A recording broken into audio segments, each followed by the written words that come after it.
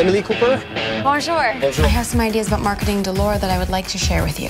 It's very sexy, no? Sexy or, or, or sexist? What is the problem? I feel people might get confused and think this is how luxury marketing works. With all due respect, I have been sent here for a reason. You need to decide what you want and not what's going to make everyone else happy. very inspired by Indian cinema for some reason, you know, because there is a song for every high moment or low moment. Anyone noticed this is a very dysfunctional workplace? I think you're the one bringing the drama. And I feel Emily in India would have to pay a far bigger consequence to everything that she does and she puts out, and she would take a step back several times.